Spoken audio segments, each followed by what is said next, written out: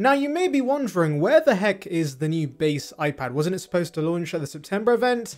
Well, we saw nothing, but that doesn't necessarily mean we're not going to get a new base iPad this year because there is still an October event that should take place and we could see the base iPad then. Now reports regarding the iPad 11 have been a little odd because we have heard a lot about the same old A14 chipsets staying in this iPad which would be disappointing news, but now there is some hope that things might not be too bad.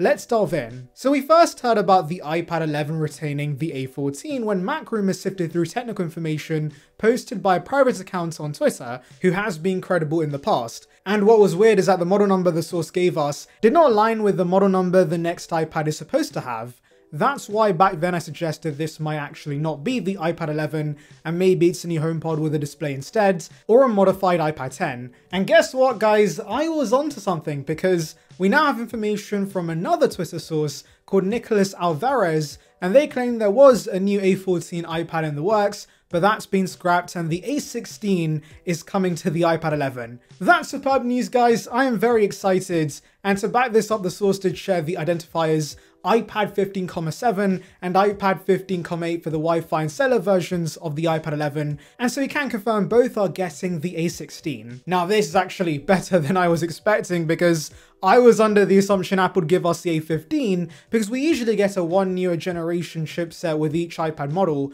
and the A15 is still in circulation with it being used in the iPhone 14, 13, the SE, the iPad mini, and the Apple TV, so logistically, it would be simpler and cheaper for Apple's supply chain to allocate this widely produced chipset to the iPad as well. Or at least I thought that would be the case. But I guess since Apple is going to be replacing most of these A15 products very soon, and the iPhone 15 is going to stay in the range with the A16, it could make sense to use a new chipset and at the end of the day, I'm not complaining. And technically Apple did skip a year, it's been two years since the iPad 10 released, and so yeah, going from the A14 to the A16 could make sense. Now, of course, with the A16, another big upgrade will be a boost in RAM. The A16 never came with 4 gigs of RAM, so yeah, going from A14 to A16 does actually make a lot of sense. Now, of course, another big upgrade with the A16 is a boost in RAM. The A16 never came with 4 gigs of RAM, so we can for sure expect the iPad 11 to finally get 6 gigs, and that should make multitasking on this smoother, which of course is always great news. Unfortunately, it will also mean this does miss out on Apple Intelligence,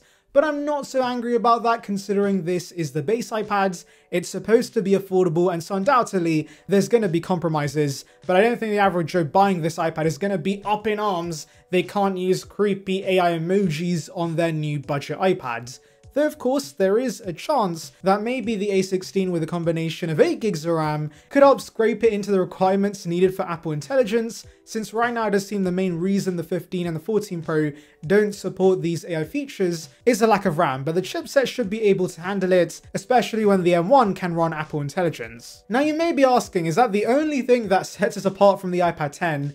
Well, mostly yes, but there are a few other smaller changes we've heard about. For example, we should see some connectivity improvements. I definitely see them making a massive fuss about Wi-Fi 6E, even though most don't have Wi-Fi 6E routers to actually take advantage of the better speeds, but expect that alongside Bluetooth 5.3 support. The next thing I'm sort of curious about is Apple Pencil Pro support. Because of the landscape camera, the charging strip needed for the Apple Pencil 2 was missing, and so as a result, they gave us Apple Pencil 1 support with a horrific dongle, and then eventually launched a much better USB-C pencil. Thankfully though, with the new iPad M Pro, Apple has restructured the strip so that of course, you can have wireless charging whilst also getting the landscape camera, and so there is a possibility the iPad 11 could now get Pencil Pro support. Yes, it's kind of overkill having this pencil that has bloody gyroscope support and all kinds of fancy tech on a display that's likely not going to be laminated, and also like P3 support, but I think just for some continuity in the range, it would be nice if all iPads supported the same pencils. Remember, you won't be forced to buy the Apple Pencil Pro, you can just of course settle for the USB-C pencil if you don't need some of the fancier features, but considering the USB-C pencil lacks features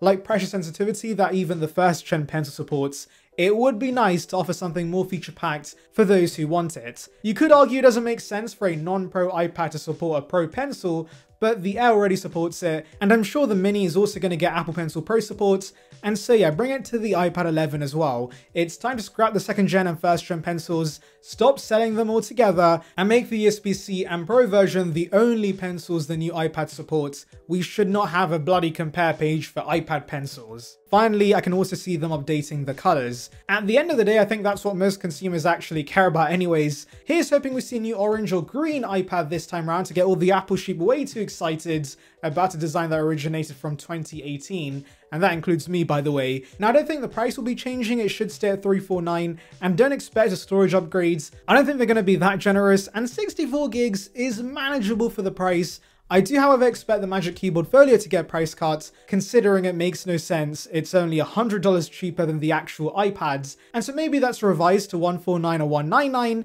and hopefully we get a black version as well. Now release-wise, as I said, there is a strong chance we could see this at the October event, and we have had many reports in the past suggesting the iPad 11 won't release till the second half of this year, and we are very much in that period right now. So yes, an October release alongside M4 Macs and the new iPad mini could make sense. You may be wondering though, how do these sources actually know this? Are they just making random predictions in the hopes of being right? Well, no, the source in question has been pretty spot on with their rumors in the past because they have legit sources in the supply chain. Apparently, Apple is working with China's BYD, who assembles iPads, to move new product introduction resources to Vietnam. Now, if you're wondering what new product introduction resources mean, well, I actually don't know, but thankfully for me, I can use the powers of Google and read this off a teleprompter. And so NPI refers to Apple working with suppliers on the design and development of new products to ensure they can be made properly in a new manufacturing plant. Wow, you learn something new every day. This will be the first time they do this process outside of China apparently, especially for a core product, but it makes sense considering the fact